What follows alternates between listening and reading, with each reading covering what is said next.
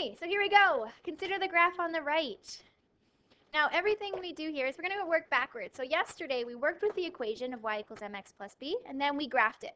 So uh, if you looked at today's homework, it was looking at the graph and then writing the equation. So everything we're doing is we're relating it to y equals mx plus b. Okay, could all of you get your formula sheets out? Because that equation has a special name. And we're going to write the name of it above your formula sheet. If you need another formula sheet, there's some in the back bucket, the blue paper. And there's three names. And I, I, can you please write these names down? So the first name is the slope y-intercept. Slope y-intercept form.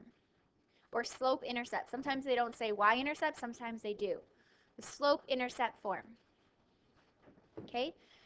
So on, a, on an exam, you're going to actually get a blank copy and you'll have to know these names of each equation. But for now, it's really handy if you have the names on your own formula sheet as you practice.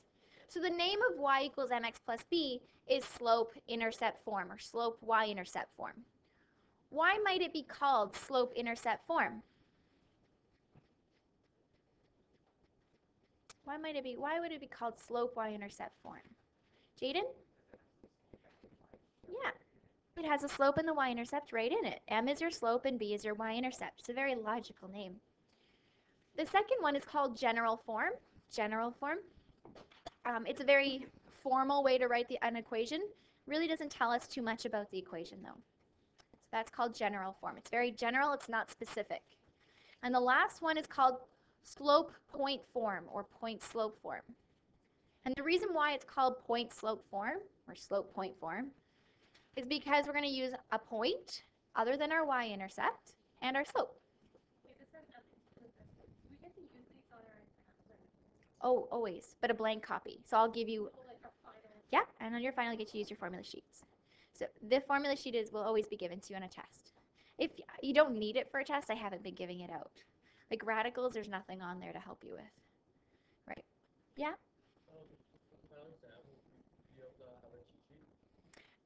For the final exam, you will not be able to have a cheat sheet. Sorry. Okay. All right. So grabbing, going back to the notes. Remember that when we look at our equation, mx plus b, what does m stand for? Slope, and b is the y-intercept. Okay. So what I'd like you to do for this graph here is determine the slope and y-intercept. Determine the slope and y-intercept.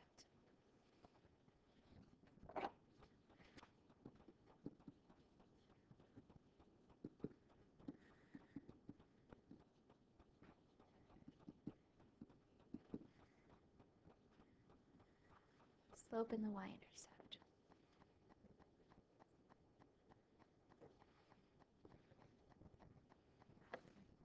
Okay, can anyone tell me what the y-intercept is here? 1, right? Crosses the y-axis at 1. So another nice point, you can need any two nice points that actually intersect um, with the, ax the grids properly. So to get from this point, our y-intercept, to this new point, what do we have to move? 2 down, so negative 2, and 3 across, rewrite. And so your slope should be negative 2 thirds. So the next question says, write the equation of the line in slope-intercept form. So that's our y equals mx plus b.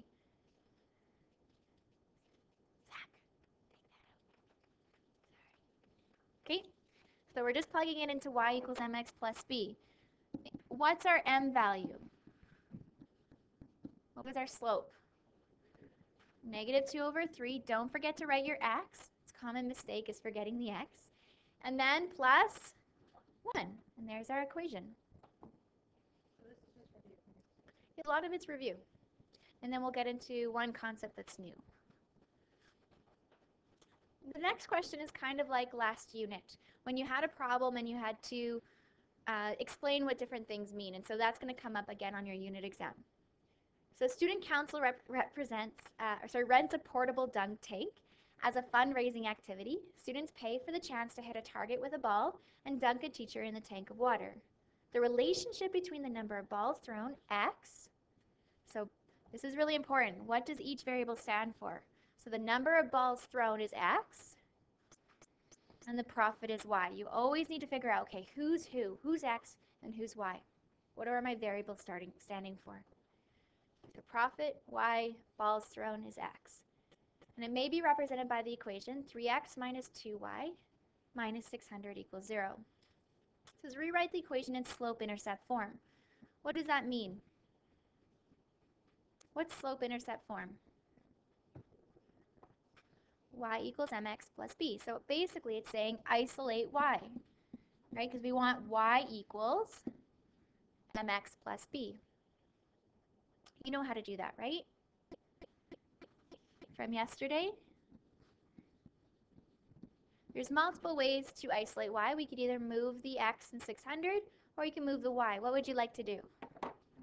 Move the y. We have a minus 2y, so we are going to less 2y. Two y's are gone. 3x minus 600 equals 2y in our last step. Divide by 2. So our equation becomes y equals 3 over 2x minus 300. Okay, what's the slope of this line? 3 over 2, and it says state what it represents in the context of this question. So we need to figure out, okay, remember slope is change of y over change of x? What does the y stand for in this problem? The profit. So this is the dollars, the profit, or the dollars, and x is the number of balls. So what does the slope represent in the context of this question? It's $3 for two balls. So $3 for two balls.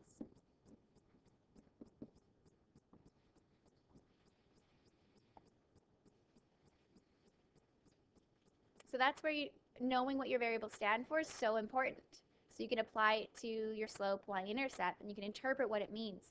And when I say what does it represent, in the context of this question, some of you of your unit exams literally wrote the definition of slope instead of saying the context it, it we're dealing with, right? So in these problems, when I say what it represents, I'm really asking in this context. Okay? Maybe I'll be more specific next time. Uh, identify the y-intercept. What's the y-intercept here? Mm -hmm. So negative 300. Now the y-intercept, remember y has to do with profit. So why is our profit negative 300 initially? That's the cost. And what supplies did we have to do? Look at the beginning of the question. We had to rent to the cost to rent the dunk tank. So right off the bat, they're down $300. Their profit in the beginning, so profit with no sales is negative $300. Negative $300. So they're basically in the hole. Their profit is negative. So they're in the hole $300 to start. So the break-even point is the point at which the money raised equals the money spent. So really, what does that mean? If you're if you break even, what's your profit? Zero. So break even means zero dollars profit. And it says how many balls must the student sell to reach the break even point? So remember our equation was y equals 3 over 2x minus 300. So how can we figure out the balls, number of balls needed to make zero profit or break even? Do we know one of these variables? Do we know x or y? Remember, y stands for what? Profit. Y is the profit, and X is the number of balls. So who are we looking for? X. We're looking for the number of balls. We're looking for X. Do we know Y? Do we know our profit when we break even? Yeah, what is it? Zero. So our profit is zero when we break even. And we want to find the number of balls needed to break even. Oops.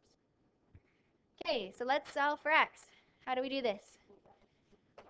We can either move X or you can move the 300. I'm going to move the 300 just because I like th keeping things positive. Glass half full. okay, so negative 300 to move it, plus 300.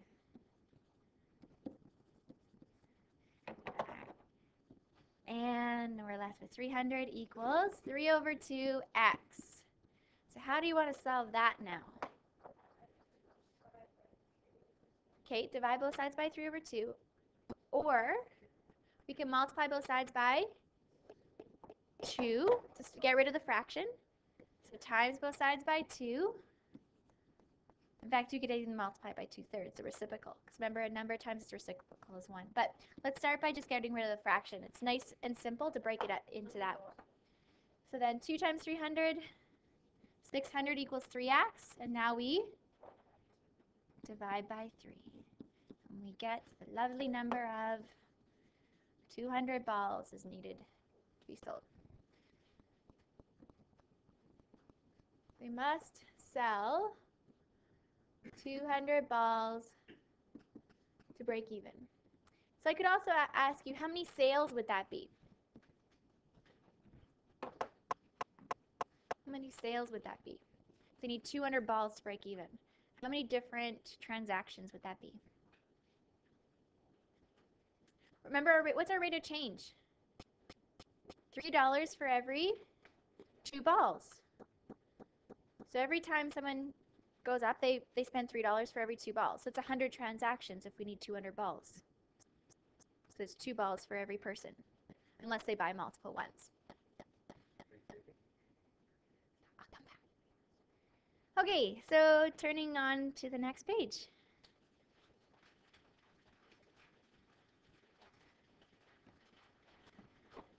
Hey, Shayla, how many points at the very least are required to draw a line? The very least, how many points? Two. Two points. The very least, if we have two points, we connect them and we got a line. Uh oh Delete, delete, don't look. Okay. Jillian, what are the two easiest points to probably use when you need to find two points? The zeros. So what I mean by the zeros are the x and y intercepts. When x is 0, oh, oh, I can spell intercepts. The x and y intercepts are the zeros of the graph. So we want to complete this beautiful table here. Look how simple it looks. I like simple tables. We have when x is 0 and y is 0. So how would I find what y is when x is 0? Sub it in. We have an equation, right? So sub in x is 0, and let's find y.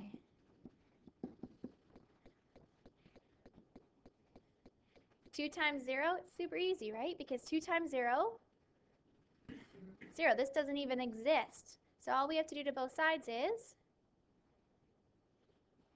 if we have negative 3y equals 6, divide by negative 3, which gives us negative 2. So as a point, this would be x is 0, y is negative 2.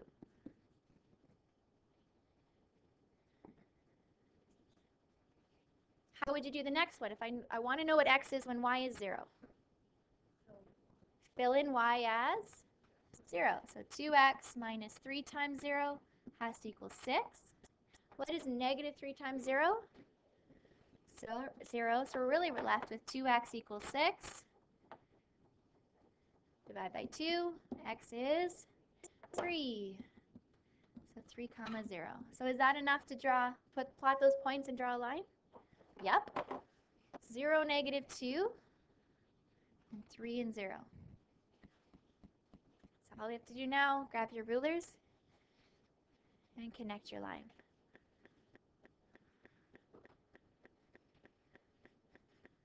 Just gonna roughly sketch it. Ooh. Down to right. Three.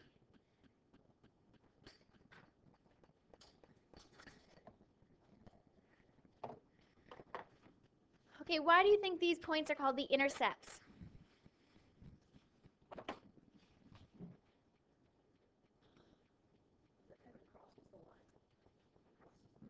They cross the x and y axis. That's where they cross the x, they intercept the x and y axis. Okay, so some generalizations we can make. The x-intercept is the place where the graph crosses the x-axis. So this point right here, the x-axis.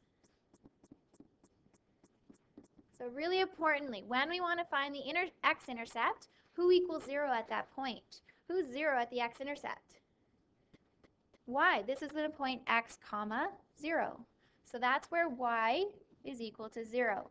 That is basically the basis of today's lesson. Highlighter. We find the x-intercept, we make y equals to 0. That's like study sheet material. The y-intercept is the point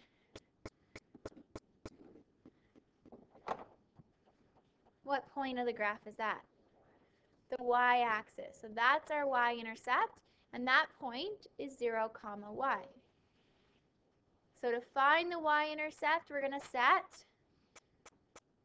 x equal to 0. Let's use a pretty color.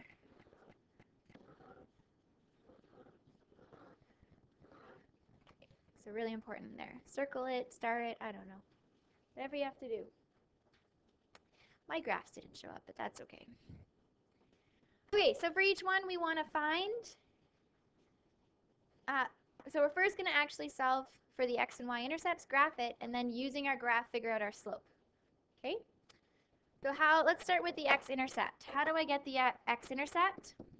We just set who to zero? No, y. We want to figure out what x is when y is 0. So our equation becomes 2x plus 2 times 0 minus 8 equals 0. And then what happens? Poof. 2 times 0 is gone. Love it. Then it becomes this beautifully easy equation. Next step, add 8. 2x equals 8. Divide by 2. x is 4. Super easy. Where's my easy button? I have one. I need to pull it out. Okay, so there's the first one. You can plot that on your graph if you like. So my graph's going to be right here. One, two, three, four. So here's my graph. One, two, three, four. Okay. How do we get the y-intercept? Set, set x equal to 0. So what does our equation become? 2 times 0 plus 2y e minus 8 equals 0. And then poof, that's gone. Disappears. It's like a magic show. Are you all enthralled? yeah. Maybe if I had cable running. Next up, plus 8 280, 2y equals 8. Oh, this one's so easy. Divide by 2, y equals 4. What would this be as a point? 0, comma 4. And so on our graph, 1, 2, 3, 4. Is that enough to connect them? Yep. And last, we have to find our slope using our y-intercept. So what would be my slope? We had to go down, down 4, right 4, which is minus 1. Do you think you could try the next one on your own? Or, yeah? Or should we do, yeah? Okay. Give it a shot.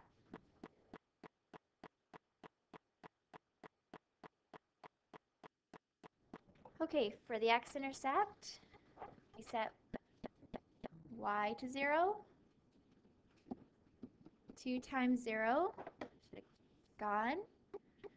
So 4x equals 16. We divide by 4. You should have had x equals to 4. So that's the, because we have x equal to, that's our x-intercept. The y-intercept, we set x to 0. We're solving for y. So if I'm solving for y, that's going to be my y-intercept. 2y equals 16, divide by 2, y is 8. So 0 and 8. So now that we know y, y is, oops, y-intercept is 8. Draw our line. okay, draw your line through the points. Whatever. Okay, what's my slope then? How do I get my slope? Negative 8 over 4, because we go down 8, right 4. Shayla? And what's negative 8 divided by 4? Negative 2. Okay? All right. So turn to the next page. Uh, if I ask it, if I ask you to show the work, you have to show the work. Okay?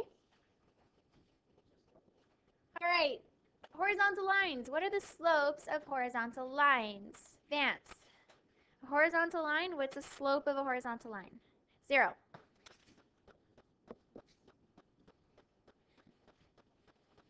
Miriam? Vertical line, what's the slope of a vertical line? Not zero, opposite of zero. Un, undefined, undefined. Remember, because it's a number over 0 and we can't divide by 0? Undefined. So this, this part here is a little bit of a review. So a little note is whenever an equation, if an equation has only one variable, the equation has only one variable, then it's only going to be, it's, then it's going to be a vertical or a horizontal line.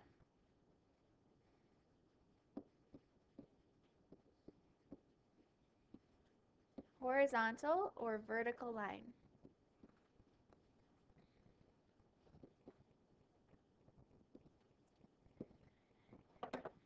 So if the equation only has one variable, it will be horizontal or vertical. So you guys have to remember, if it's if the y is the only variable, it's going to be a horizontal line. So here, an equation an equation in the form y equals k, and when I say k, it's k is an integer, so a number, has a slope of 0, and thus results in a horizontal line. Okay, so y equals equation is a horizontal line. So when we solve, when we have an equation with only one variable, we always solve for that variable. So isolate that variable. So we're going to isolate y. First step, plus 4. So move the constant over to isolate y. And then have 2y equals 4. Divide by 2y equals 2. So it's going to be a horizontal line through y equals 2. Y axis is this guy. So y equals 2 is right there. Therefore, it's a horizontal line through y equals 2.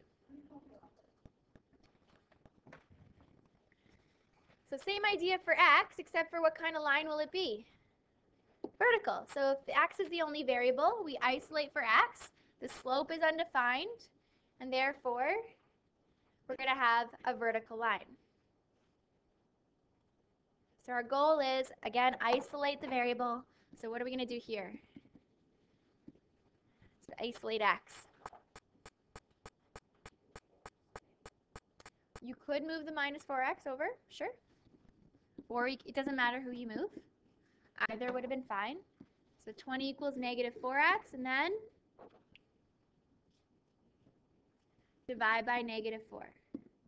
And we have negative 5 equals x. So the x-axis is right here. Right? So where is x equals negative 5? My graph looks a little bit different. Right over here is x equal to negative 5, and so it's going to be a vertical line through x equals negative 5. Mine is, you guys have go all the way to negative 6. Okay, we're actually going to uh, skip the last problem today. I'd like to look at it another day, but I, I do want to give you some more time for homework. I need to walk you through your homework, however. Um, hmm, yeah. Hmm, should we? Okay. Okay. so your homework, of course, you started already 362. You also have a worksheet to complete, and that's just one page. Did you hear about? So if everyone can get their uh, brown booklet out, and you also need to have whatever you do your work on. So your workbook or whatever you line paper. It's in the back. The brown book. So graph paper, whatever you do your work on, your homework on. Okay. So uh, the worksheet's called Did You Hear About? Okay, so I'm going to just walk you through what I need to see. Now, some of this seems really easy, and so you might want to skip some steps, but I really want you to get in the habit of doing, going through all the steps, even if it's easy, and showing all the work. Okay? So I'm going to work through the very first part with you, and then the rest of the worksheet is also part of your homework. So I'll grab, uh, so let's look at the very first one, 3x plus 2y equals 6. So for each question, you have to find its x and y intercept. So 3x plus 2y equals 6. I'll do it on this here. So A is 3x plus 2y equals 6. So for each one, you have to solve for the x and y intercept. So let's start, stop with the, start with the x-intercept. What are we going to do? Who's 0? Y, the other one. 3x plus 2 times 0 equals 6. What happens with 2 times 0? poof, it disappears. And then we have 3x equals 6, divide by 3, and x equals 2. And then we want to write that as a coordinate. So what would that be as a coordinate? 2 is x, remember x, y, so 2 is x and y was 0. Okay, and now the y-intercept. Who's 0 in the y-intercept? The other guy, so in this case, x, 3 times 0 plus 2y equals 6. Poof, 3 times 0 is gone. We have 2y equals 6, and then divide each side by 2. y is 3, and so as a point, x was 0, y was 3. Okay, so for each one, you need to show that work. And then you go to the sheet and you look, okay, who had the x-intercept of 2, 0 and the y-intercept of 0, 3? So here you can see 2, 0, 0, 3 is the. So in A, we put the. Okay? So I need to see your work for this. More than I need this answer, I need your work. Um, okay, just so you know, I know it seems like this end is kind of cut off. This should be because, so, S-O. I don't know if your letters are showing up okay. Then rooster, this is it. Robinson, cracked, like a cracked egg. Crew, W here, and up. Okay, so your homework is the textbook pages 362 and then this worksheet.